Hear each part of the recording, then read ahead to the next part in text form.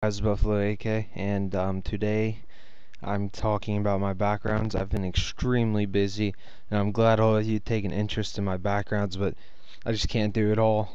It's too way too much.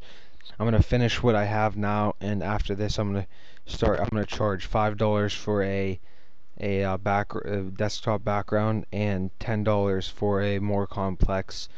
Um, I'll put a lot more effort into it background. Um, I will make icons for two dollars.